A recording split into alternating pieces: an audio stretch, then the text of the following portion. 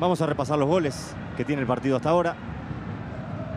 La pelota detenida y el movimiento que hace Olivera.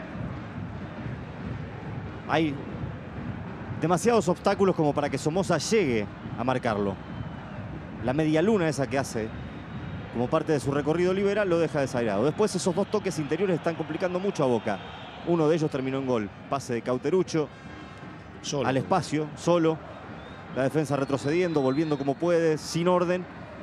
Y defiende, define muy bien Menéndez.